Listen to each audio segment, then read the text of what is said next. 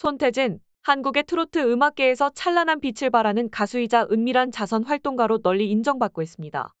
MBN 뉴스 파이터즈의 특별 인터뷰에서 그는 자신의 음악적 여정 외에도 숨겨진 사생활의 일면을 공유했습니다.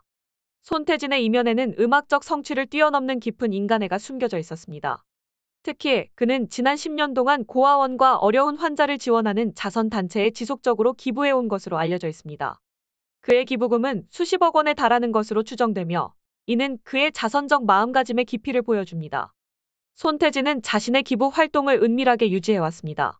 그는 자신의 신원이나 개인정보를 거의 남기지 않으며 자선 활동을 통해 대중의 관심이나 광고를 원하지 않았습니다.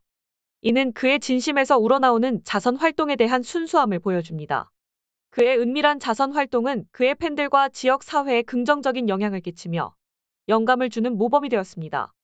손태진은 자선 활동에만 그치지 않고 직접 시간과 노력을 들여 도움이 필요한 사람들을 위해 헌신하고 있습니다.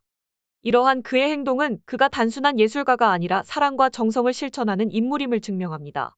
그의 따뜻한 마음과 열정적인 기부 활동은 그를 한층 더 존경받는 인물로 만들었으며 앞으로도 그의 긍정적인 영향력은 지속될 것으로 기대됩니다.